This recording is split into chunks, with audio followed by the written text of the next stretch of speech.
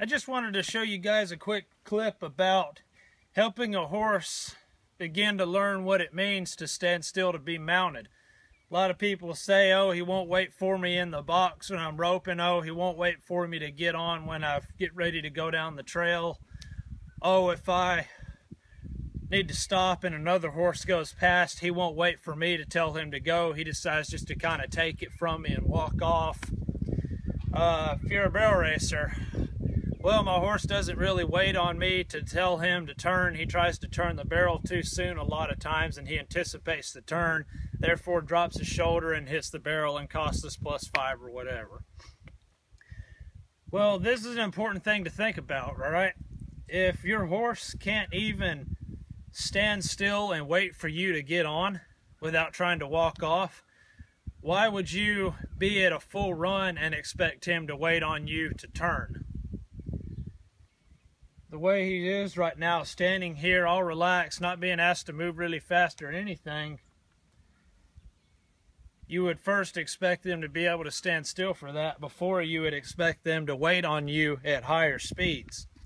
And standing still, guys, it is just as important of, of a maneuver as lifting the shoulders, stopping, spin, whatever it is that you want your horse to do maneuver-wise standing still is just as important of a maneuver and for the reasons I just explained that that is why.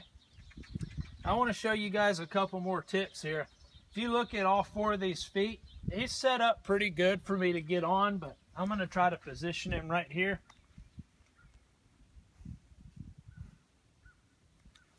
Okay now if you if you look at him right here more or less, he's kind of more in a position where it would be easy for him to just kind of walk right off when I go to get on.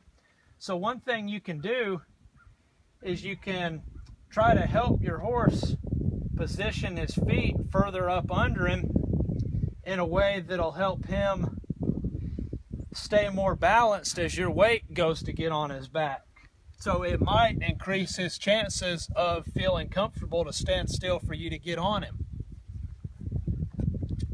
Then something else here. Notice, notice how close together the front feet are. That's not much of a base for him. So if I was to get on, if you noticed a lot of his weight is on this foot, if I was to get on right here, it would pull him out of balance just a little bit. So I might just see if I can get this foot to step over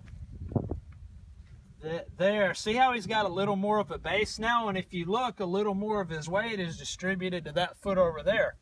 So he's in a little better of a position for this weight, for this 160 pounds to come onto his side right here. Let me show you something else.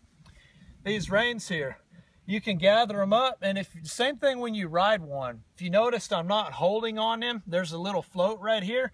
But if I just move my hand about two or three inches, I've got a halt of him, okay?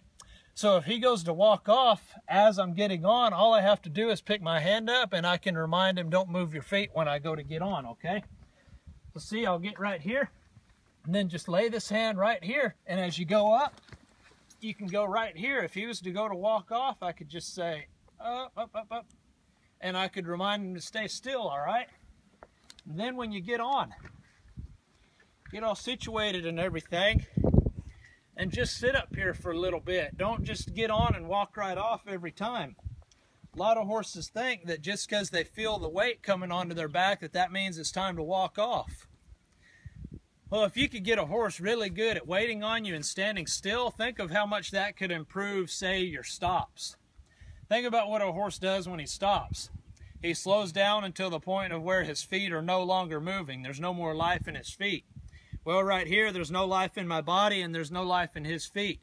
Well, if he kept trying to walk off right here, well, think of how much more of a pushy horse that would be when I would go to stop if he didn't know what it meant to just stand here chilled out and be stopped. So that's a really important deal. You just sit up here and you can pet him for a minute and just just give him a minute and you can start helping your horse know what it means when you want him to have no life in his body. You don't have to walk off every time you get on.